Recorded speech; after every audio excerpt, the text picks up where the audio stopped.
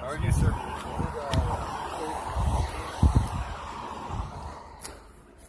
Yeah. I mean, there's there's nothing really going on right here right now, so you're good. So that curfew though? Oh, is there? We didn't know. I mean, it's like first time chilling. What is the curfew again? Seven o'clock.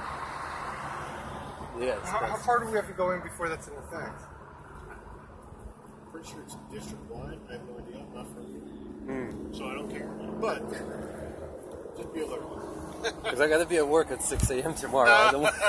We just wanted to glance. Hey, thank you guys for everything you guys do. All right, thank you. I appreciate you.